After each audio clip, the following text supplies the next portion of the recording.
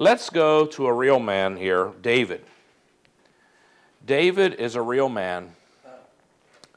And uh, just for a little historical background, let's look at. Uh,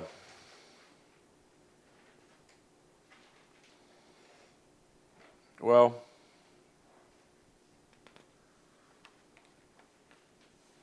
the account the account of David's uh, adultery. Let's go to 2 Samuel.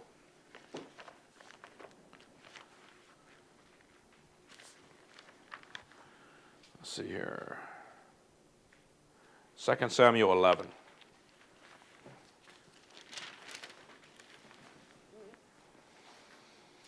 Now, in 2 Samuel 11, it says, It happened in the spring of the year, at the time when kings go out to battle, that David sent Joab and his servants with him and all Israel, and they destroyed the people of Ammon. And that would be the Ammonites. That, that name is the capital of Jordan today. Amman, Jordan. They besieged Rabbah, but David remained at Jerusalem. Now, Lisa, what was the moral of that story? You remember? Well, he would have been off the battle with his army. He wouldn't have been on the rooftop to see Bathsheba. That's right. That's uh, one of the pitfalls is is that people uh, we're in war.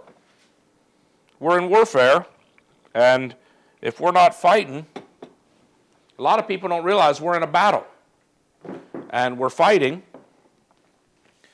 People think the church is a recreation room instead of a battlefield. And that's the way they treat it.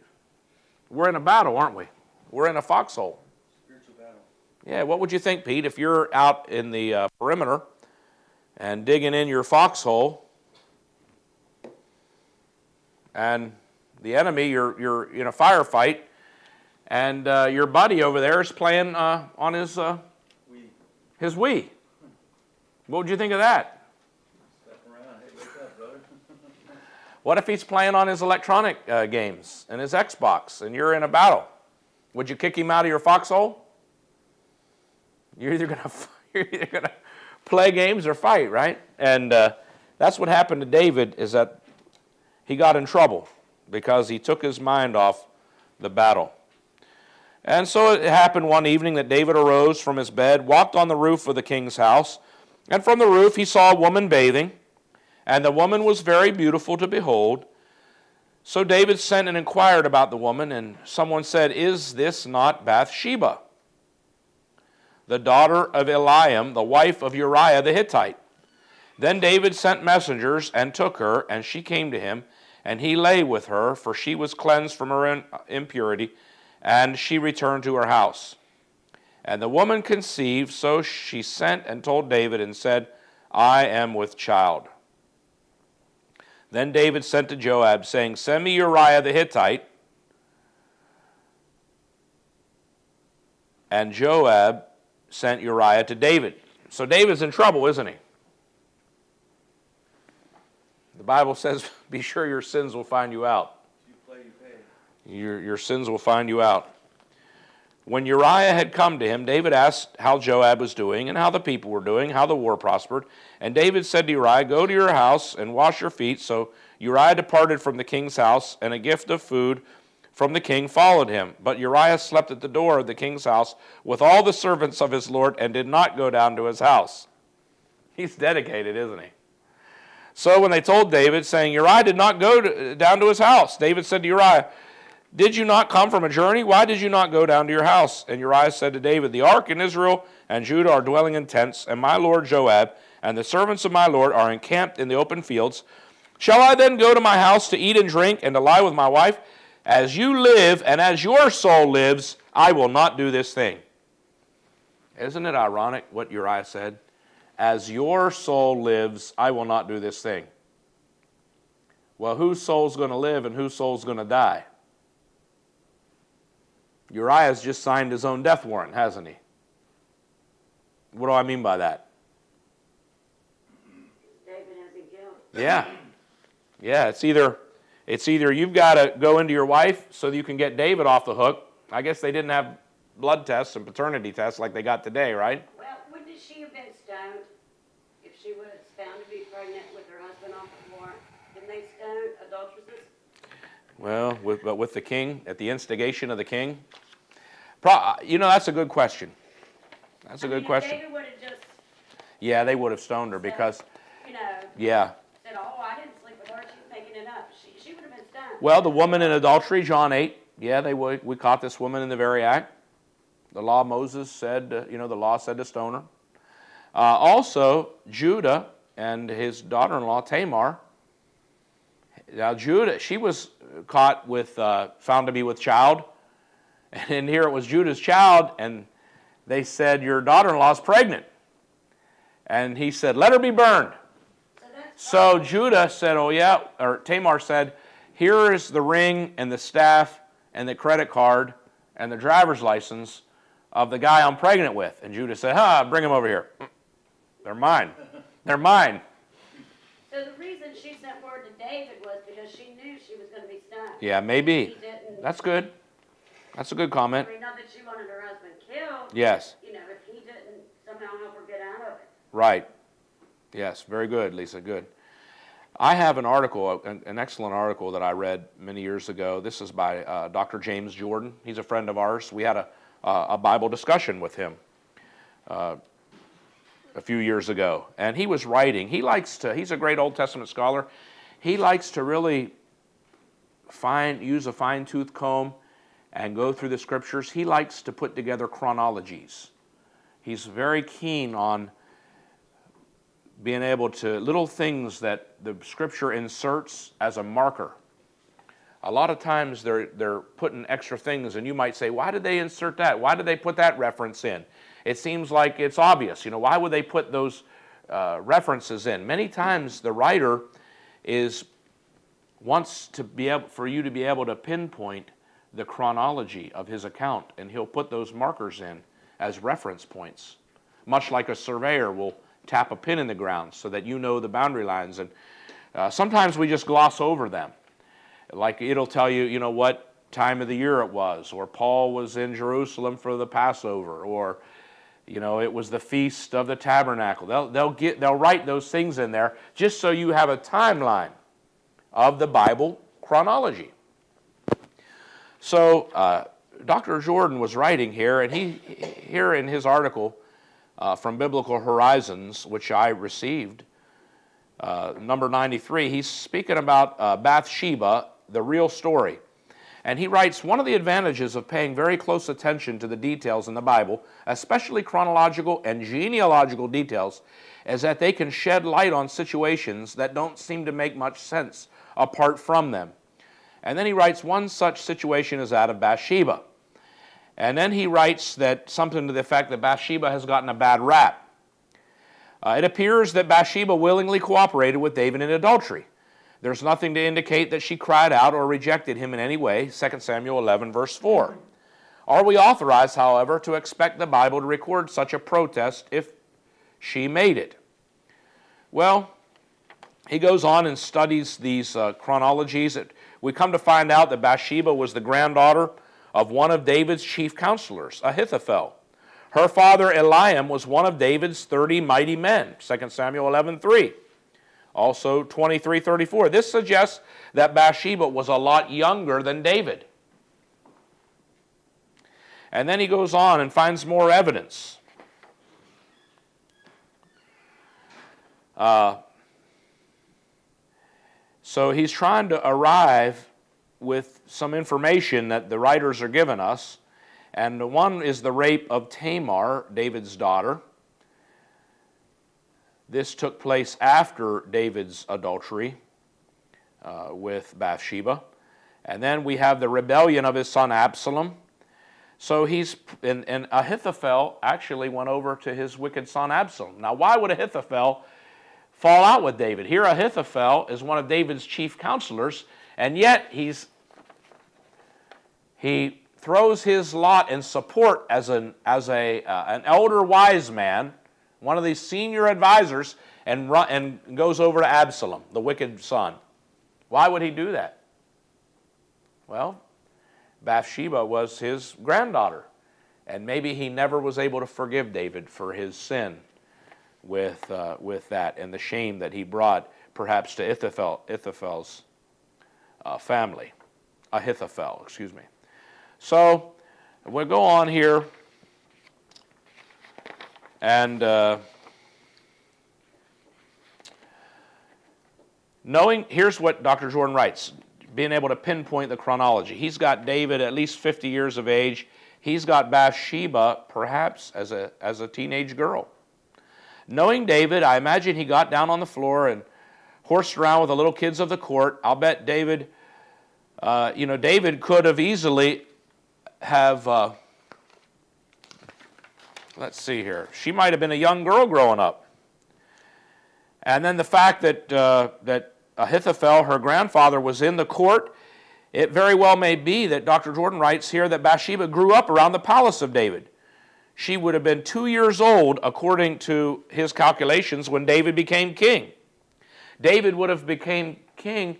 Uh, he believes that this uh, affair with Bathsheba would have taken place in David's 15th or 16th year of his reign. That would make her around 17, 18 years of age. Her father and grandfather were often at the palace. David knew them intimately. Uh, as a little girl, David might have known her, even played with her, and all, and all the little kids there at the court. Bathsheba grew up in awe of David, a man after God's own heart, the author of the Psalms, God's anointed leader. All her life, she viewed him as one of Israel's preeminent spiritual leaders. She had heard him speak about the Lord many times. She had heard her father and grandfather praise him. So when David called for her, she came. But John, this one in Second Samuel, Okay? it says, the woman was very beautiful, and David sent someone to find out about her. Yeah. So that makes it sound like he didn't know her, He didn't? didn't? If he said to send somebody to Yeah, find out who fine. she was. Well, yeah, Dr. Jordan says maybe he had bad sight. You know, I, I don't What- know. What scripture are you, are you- saying? 11. Second Samuel eleven. 11 4. He had to send somebody to inquire who that beautiful woman was. Says just, uh, David sent messengers and took her, and when she came to him, they laid together. It doesn't say anything about not knowing her. Well, eh, both could be right. He could have he would have known about her growing up, but maybe uh, she's older now. Maybe some time has elapsed. I, I don't know. Uh, it's both conceivable. He had to send messengers who this person was. Maybe maybe he just saw her form. I, I don't know. She was married. She was married. The bottom line. She was married. She was a married woman. Why did David have to ask who she was? 11 verse 3. At the age of 50, his eyesight uh, doubtless uh, had begun to diminish. She was at a distance. He could only see her general form. But note that she lived near enough to the palace to be, to be spied upon, which again shows that she and her husband were closely associated with the court. Moreover, the form of the answer David received, Is this not Bathsheba, the daughter of Eliam, the wife of Uriah, indicates that the man assumed David knew her. In other words, oh, you know who that is, David. That's Bathsheba. What did David say to her? We can only imagine. I suppose he writes it went something like this Trust me, it isn't wrong. I'm the king, after all. And Bathsheba trusted him. After all, unlike the ordinary Israelite, David had lots of wives and concubines. He wasn't supposed to, but of course he did. Kings, Bathsheba knew, were different from ordinary people. Could Bathsheba read? Did she have her own copy of the Torah to read? Doubtless not, but few people bothered to learn to do so in that pre world. Surely there weren't a lot of copies of the Torah around. What she knew of spiritual matters came from men like David. If David said it was all right for her to sleep with him, she had no real reason to question him, or at least not much of one. Well, what he's trying to say is that she's a young girl. And she's not, she may not be the evil temptress, the evil, you know, seductress that we think about when we think of David and Bathsheba. Uh, at any point, Psalm 51. Psalm 51. Uh, let, uh, I'm sorry. Let, before we go to Psalm 51, let's go uh, to Nathan the prophet. And God rebukes uh, David's sin. Now, David sent messengers had Joab put Uriah at the head of the battle. You know that, right? And you know that they shot their arrows, and guess who was a casualty of war with those uh, Ammonites, the enemies? Was it the Ammonites? Yes. All right. Well, Uriah fell down dead. David put him in the front line, and he fell dead. And uh, after she heard of the death of her husband, she mourned. And in verse 27, 2 Samuel 11, 27, when Bathsheba, when her mourning was over, David sent and brought her to his house. She became his wife and bore him a son. One little problem, however. What's the last? What's the last thing that uh, that chapter records? The last sentence there. So everything seems to be on the up and up. Got rid of the husband. But Gonna take the- David had done was evil in the sight the Lord. The thing, but the thing that David had done displeased, or the footnote says, was evil in the eyes of the Lord. Uh, 2 Samuel 11 27. The thing that David had done was evil in the sight of the Lord, in the eyes of the Lord. So, 2 Samuel 12. Then the Lord sent Nathan to David, and he came to him and said to him, uh, gave him a little parable, didn't he? There were two men in one city, one rich, the other poor. The rich man had exceedingly many flocks and herds, but the poor man had nothing except one little ewe lamb. What's a ewe, David? Female. E W E. A ewe lamb. A female lamb. What's up with the female lamb? Why does it have to be a female? You know, uh, all the other sacrifices, you know, it's a male, right? A male child, a male sacrifice. This time it's a female. And, uh, well, what does it say? Uh, which he had bought and nourished. It grew up together with him, with his children. It ate of his own food and drank from his own cup and lay in his bosom. It was like a daughter to him, like a pet. This, uh, this lamb, this female lamb was like a pet, kind of like our little dog. Happens to be female. What's the significance of the little lamb, the little female lamb? See, Dr. Jor, it, that female lamb, we're going to find out, is Bathsheba, representative representative. Well, I, I made it stronger. I, I just, uh, I, I didn't use a simile. I, I said uh, a metaphor. She was. The little lamb is Bathsheba.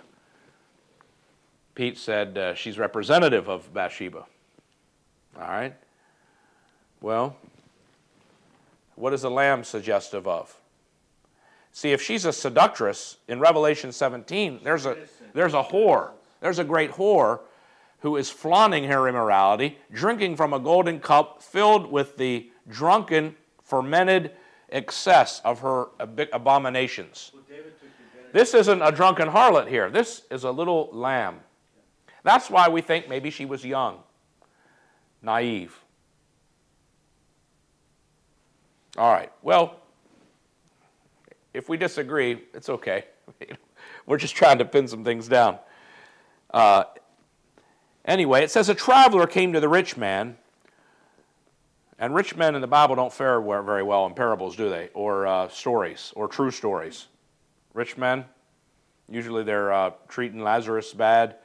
They're build, tearing down barns to build bigger barns. You know, it's, it's not easy for a rich man to get to heaven, is it? But uh, the traveler came to the rich man. I'm in verse 4, 2 Samuel 12, 4. Who refused to take from his own flock and from his own herd to prepare one for the wayfaring man who had come to him. But he took the poor man's lamb and prepared it for the man who had come to him. So David's anger was greatly aroused against the man. And he said to Nathan, As the Lord lives, the man who has done this shall surely die. Deserves to die. In the Hebrew, is a son of death. Deserves to die.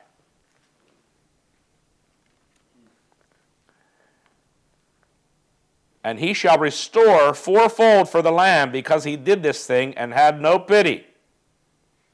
And what did Nathan say to David? You are that man. Have you ever been punched right in that middle of your solar plexus, right where your abdomen comes together? Your abdomen, excuse me, abdominal. Your abdomen comes together. Have you ever been hit right there in your solar plexus? It's one of the most painful blows that a man can get. But I'll tell you, as hard a, a, a shot as that must have been to take, a punch to the midsection for soldiers or warriors or gladiators, I'll tell you, I can't imagine anything harder than receiving a rebuke from the prophet, such as David received from Nathan. You are the man.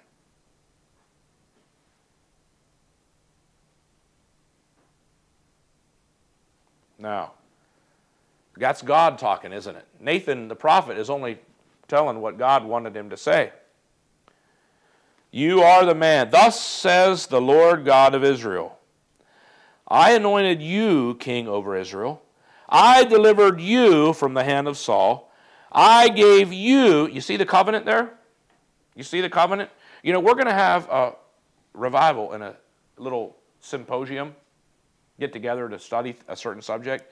We're talking about our liberty that we have in Christ because we know that there's a lot of legalism. But at the same rate, Paul said, even though we have a liberty in Christ, don't let our liberty be a stumbling block to others. What does Paul mean by that? Your liberty that you have. You would never want your liberty, the freedom that you have in Christ, to cause somebody else to stumble. So, to be a stumbling block, to cause somebody to sin. You ever wonder why, you know, um, maybe some people think we're strict. Do people think we're strict? We had a fabulous compliment. He's by a brother. He's not in our midst tonight, but he had a favorable impression of our congregation. He says, You guys are serious about what you believe. Isn't that great? I was so thankful to hear that. We're serious. Because I wonder how many people out there in the land of religion are just going through the motions. They're just play playing church. This isn't a playground we're running here. It's a great line from Chitty Chitty Bang Bang. What do you think I'm running here? A children's playground? You know, there's a lot of people, there's a lot of religionists, pastors, pastors and ministers who are running a religious playground. It's all a charade, it's all a big facade, and there's no substance behind it. No conversions are being made, no lives are being impacted. Nothing of substance is being preached from the Bible. It's watered down. You just put on a show. It's just all a fake. It's all a phony. Make Christ who you want Christ You be. make Christ out. That's right, David. You make Christ out who you want him to be. Instead of making a change for yourself and following him. That's right. You know, can you imagine? Jesus said, Why do you call me Lord? Why call me Lord, Lord? And don't do the things I command you. Right. On that day, they'll say, Lord, didn't we do all these many mighty works, cast out demons in your name, prophesy in your name, do all these great works in your name? And he said, I will say to them, Depart from me. I never knew you.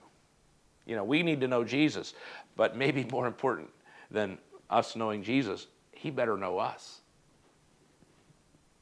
Now, David knows God. There's no question. He's a man after God's own heart. You know, he seems to either be on a big mountain or on a, on a, on a valley.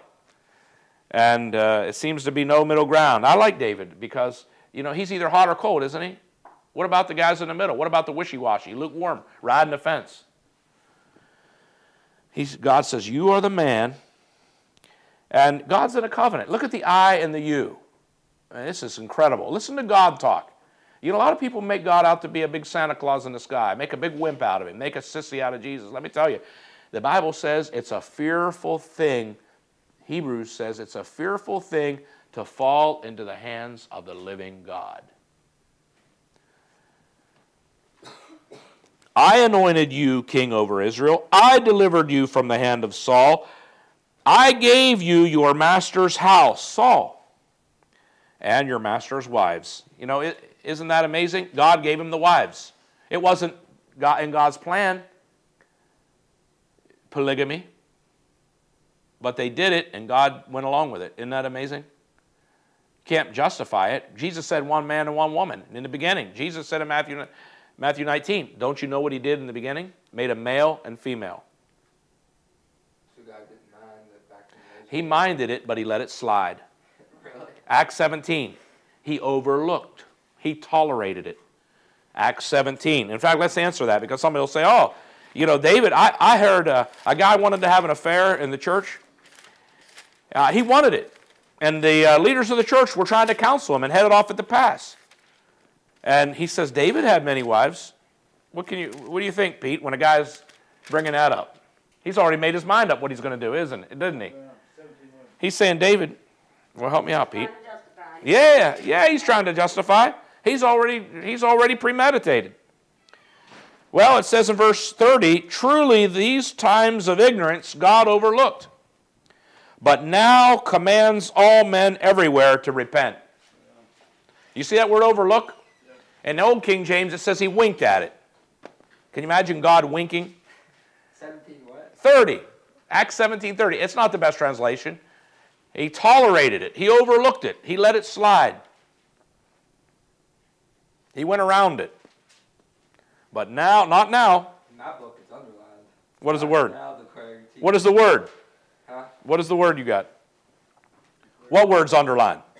The, the whole, this whole sentence, Oh. God is now declaring to men that all, everywhere, should repent. Can you plead ignorance? Can you imagine telling the judge, I didn't know that cocaine was in the trunk? What no? How in the world did it get there? It's not going to fly, is it? Can you imagine all the excuses on the judgment day? What does Romans 1:20 say? Are there going to be any excuses on the judgment day? He overlooked it, but now he commands all men everywhere to repent. Paul's very clear in Romans 1:20. For since the creation of the world, his invis- invisible attributes, his eternal power and divine nature have been clearly seen, being understood through what has been made, so that they were without excuse. So they have an excuse? They are without excuse. they're without excuse. Well, what about what about the homosexuals who were born that way? They weren't born that way. Oh, okay. Well, if they were born that way, why would God condemn them and give them over to a reprobate mind? In Romans one, uh, it goes on to say, and it says here that they they worship the creature more than the Creator.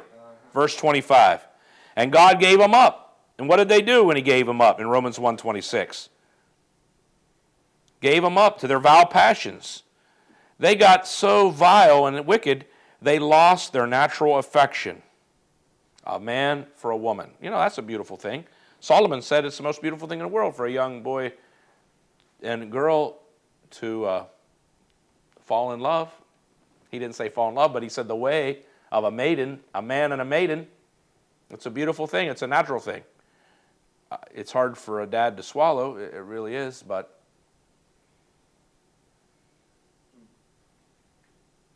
Hard for what? It's hard for the old man to, to deal with when they go through that. Why? Well, you'll find out. Fun. Anybody want to help me out? Well, you can't, I mean, imagine giving up the innocence of your child. It's going to cost a lot of camels, David. Well put, John. You're going to have to pay, pay a lot of camels.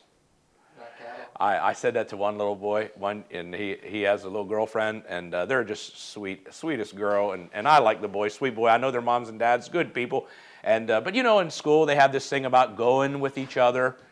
We used to call it going with each other. What else do they call it?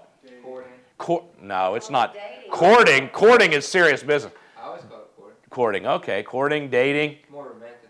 uh, being an item. I haven't heard that for a while. An item, my quotation marks. Steady. So I told the boy now, I says, you know her dad's probably going to want you to come up with about 200 ca- camels. Well, where am I going to get a camel, Mr. Doughty? Well, uh, how much does a camel cost? Where am I going to ca- get a camel? I said, I don't know. May- may- Maybe a camel probably goes for about the same price as a new uh, Chevrolet. A new Chevrolet! And uh, at least I I really liked the young man because he was really, had a lot of sincerity and he was really summoning up all of his thought processes, how he was going to be able to come up How, with, uh, with those Chevrolets and camels to give to the father. And uh, they were on Facebook. I think they're in eighth grade, but they had their one year anniversary. But good people, I like them. I know it's just, it's not serious. It's just, uh, it's kind of cute. And who knows, you know, maybe someday they all get married. It, it's a beautiful thing. It's a natural affection for boys and girls, for young men and young women. You can't tamper with that arrangement. Don't give me this stuff about genes. By the way, I got an old uh, newspaper article. The NIH had gone through the Human Genome Project. They mapped out all these, uh, you know, hundreds of thousands of genes. Uh, there's no gay gene. It reported. It was a headline in the Washington Times. No gay gene. You haven't heard of a gay gene, have you, Pete? Never heard of hygiene. Hi, Gene. It's kind of related. For Pete's sake, let's get back to our lesson. We never went that doctor I told you that uh, said that uh, people are born that way and he can prove it. He can prove it. All right. Of course, he has a son. He's got a gay son.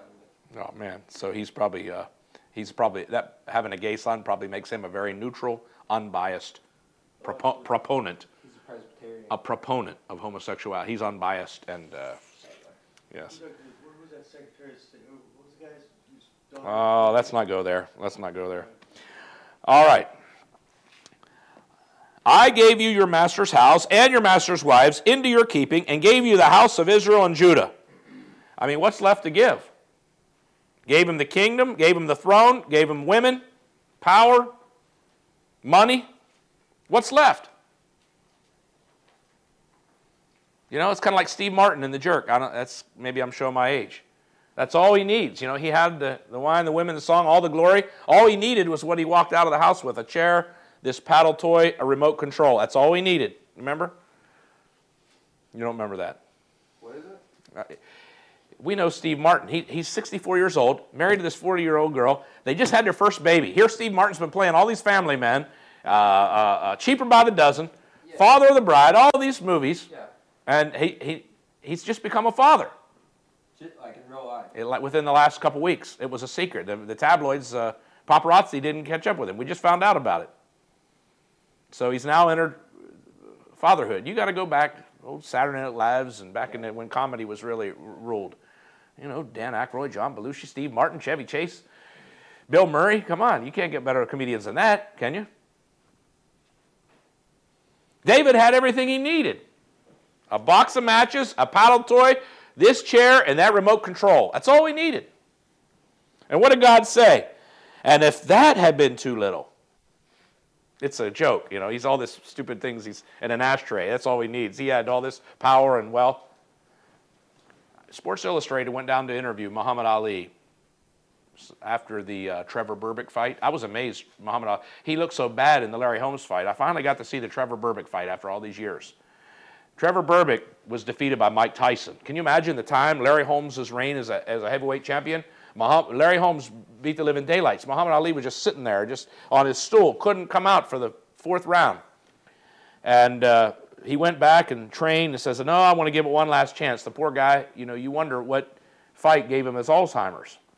And uh, fought Trevor Berbick. Trying to fight, trying to make a comeback. Sports Illustrated went to Louisville, Kentucky, went to his barn. All these wealthy objects of art were all packaged up out in a barn. They walked out with Muhammad, and he just barely whispered. He says, I had the world. It was nothing. He said, I had the world. It was nothing. David had the world. And you know what God said? And God said, I gave it all to you. And he says, If that had been too little, I also would have given you much more. Why have you despised the commandment of the Lord to do evil in his sight? You have killed Uriah the Hittite with a sword, taken his wife to be your wife, killed him with the sword of the people of Ammon. Now, therefore, the sword shall never depart from your house, because you've despised me and have taken the wife of Uriah the Hittite to be your wife. Thus says the Lord, Behold, I will raise up adversity against you from your own house. I will take your wives before your eyes and give them to your neighbor, and he shall lie with your wives in the sight of the sun. Who was his neighbor? His own son Absalom. For you did it secretly, but I will do this thing before all Israel, before the sun. So David said to Nathan, what did he say in verse 13? It's Bathsheba's fault. If she wouldn't have been up there bathing, up on that housetop when I was out and, you know, when I was out there, uh, you know, doing all my foreign policy and uh, with, sitting there with my Secretary of Defense when we were plotting our war against Afghanistan and Iraq, if she wouldn't have been up there, is that what he said? Blame it on Bathsheba? What did he say, Pete? He said, I have sinned against the Lord, and Nathan said to David, the Lord, Hold on, wait, wait, wait, wait. You didn't make it dramatic enough. you, said, I have sinned against the Lord, and Nathan said, You got to read it like it's like you're there, like we're eyewitnesses. then David said to Nathan, I have sinned against the Lord. And Oh, wait, wait, wait, wait, wait, wait. The Lord also has taken. Dave- Now you read it, David, you read it. no, Pete, Pete, listen. I, Oh. I have sinned. How you read the Bible really Let's get Chad. comes close to whether you can interpret it. Let's get Chad, Chad in here reading. Well, you know why I got Chad to do that? I'm the one that set him up to do that, uh, Pete. You know why? Because Chad loves to prove the divinity of Christ. And those are some of the most complex verses in the Bible. Hebrews 1 8, John 10 30. You got to really enunciate when you read the, ver- the Bible. Make it, Nine. yes, Romans 9. You got to really uh, put a lot of feeling into it. And we can hear, can you hear the tone of David's voice? Can you hear the, the regret, the, just the, uh, I mean, what, what's inside of him that's just convicted, the conviction of David? I have sinned. Sinned against who? Bathsheba? Uriah? Ahithophel? Eliam? All those Jewish leaders? Yes. Against his own wife, but now he has wives his kids, all the people, the church, the Lord, all of those. But who did he sin against foremost? First and foremost. I have sinned against Yahweh. I have sinned against the Lord. And Nathan said to David, The Lord also has put away your sin. You shall not die. Now, you know what really hurt? What really hurt is, I think, in verse 14. However, what did David's sin do? The baby died. Well, the baby died, yes. But what did what did God say? What was the hardest thing that God had to endure because of this? And we showed contempt. Because by this you have given great occasion to the enemies of the Lord to blaspheme. That probably is what hurt the most. I really believe that. That's what hurt the most. Can you imagine all the enemies of God laughing and hooting and hollering?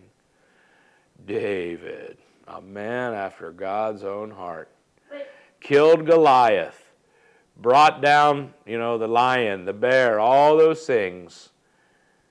But was it public knowledge? I mean, because if he took her to be his wife, then people would just assume the baby was David. I mean, of course Yeah, Nathan. Not at first. David. Yeah, not at first. There's probably it probably took time to get out, but the enemies are going to have a field day because God said it's going to be it's going to be exposed. I'm going to expose it before the sun. There's no place where the sun doesn't penetrate, even down in the coal mine. You know, I'm going to rip this thing out in the open. Everybody's going to know about it. It probably took some time to get out, but can you imagine the enemies? Do you think the enemies knew about the Ten Commandments? You think the Philistines heard about the law of Moses, the Ten Commandments? Thou shalt not commit adultery. I'm sure they heard about it. Can you imagine them laughing at God and poor God up in heaven? You know, how many of us ever, we feel sorry for all the wrong people sometimes. You know, I kind of feel sorry for God. Do you feel sorry for God? Is God a, a God who can, who can, who we can have pity on, Pete? Are we allowed to do that? Huh? Yeah, but you know, God, we can we can take God's position, can't we? Whether he whether he can be pitied or not, God wants us to, to take his part, doesn't he?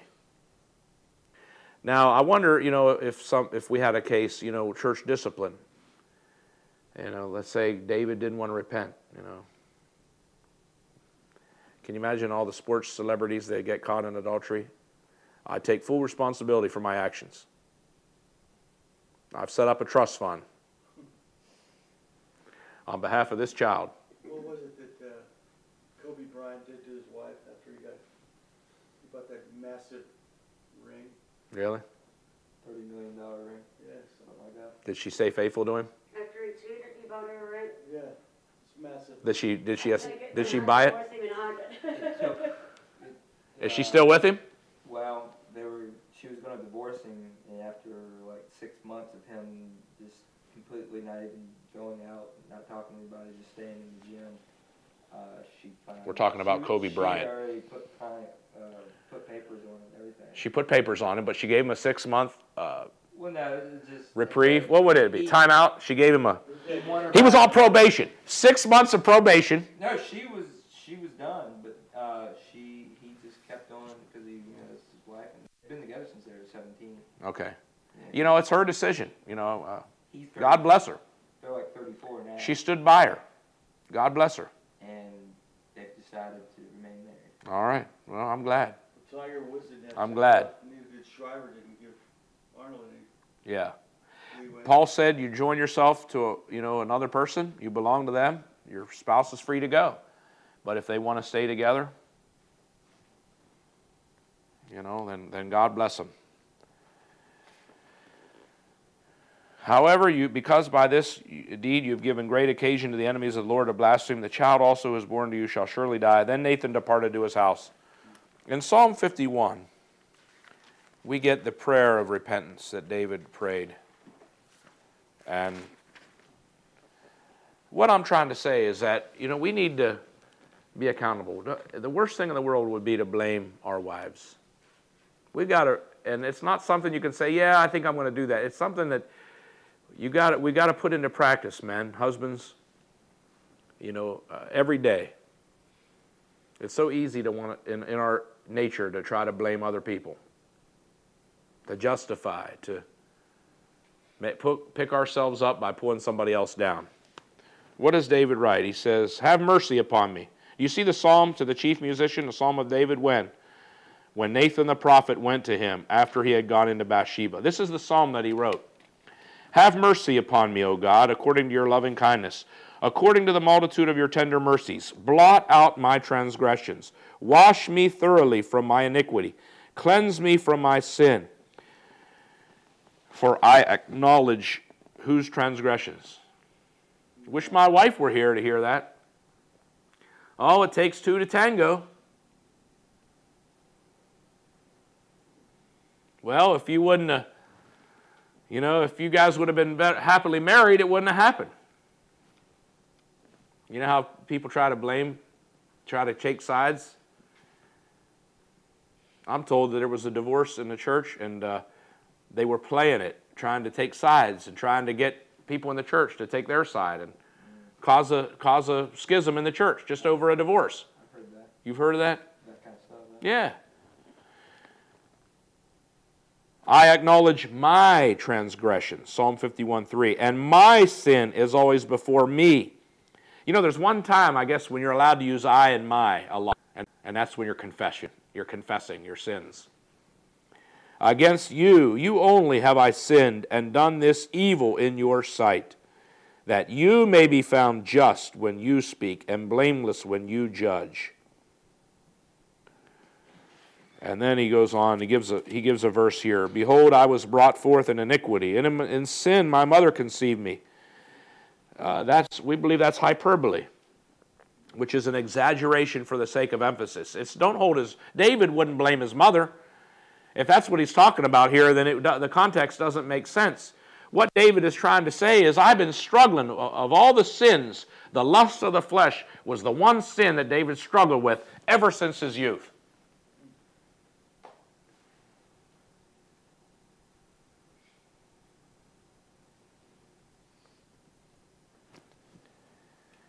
Behold, your desire, your you desire truth in the inward parts, and in the hidden part. You will make me to know wisdom. You know, God wants to know what our secrets are, doesn't he? He wants to know what's in the hidden part, the hidden compartments of our heart. How many things in our heart do we hide? And God wants to know what's in there, and He wants to know what we hold to be valuable and what we esteem and what affections that we have. And they better belong to Him. We better not be holding idols or uh, things other to the Lord in our heart.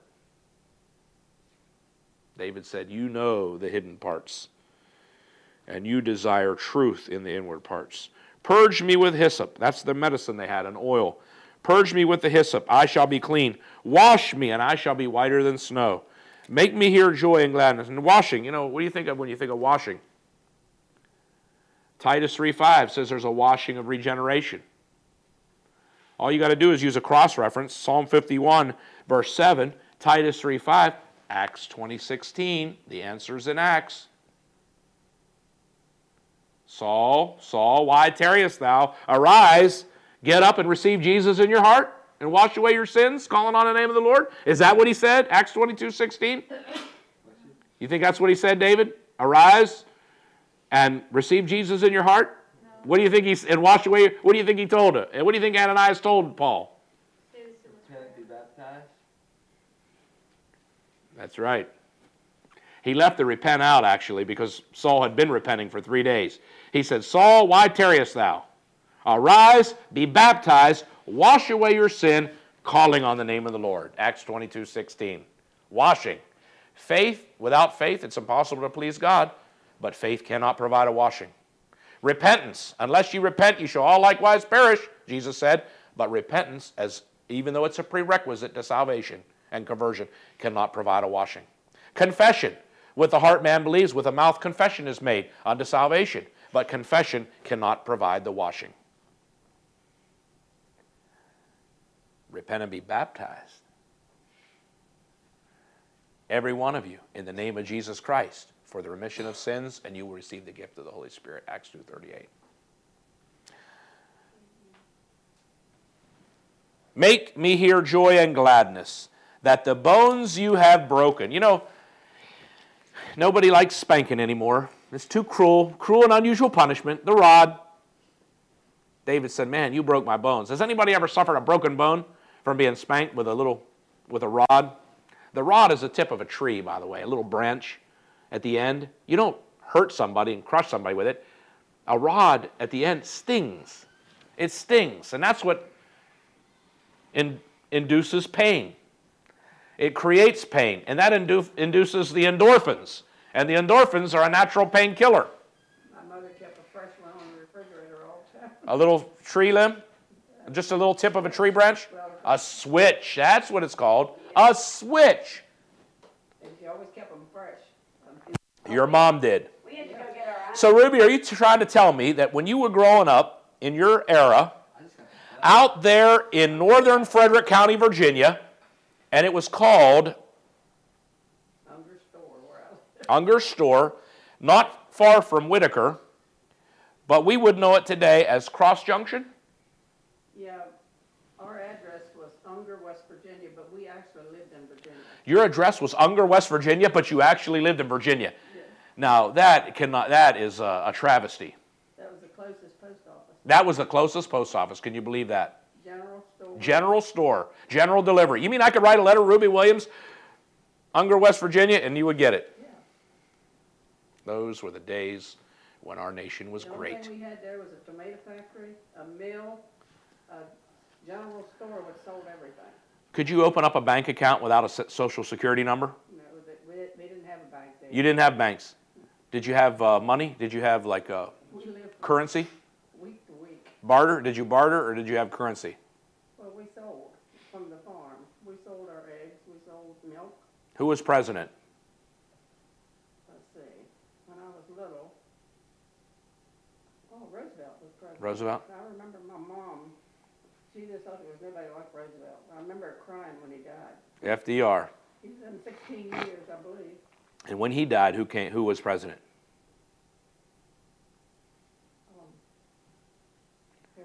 Harry Truman was our president.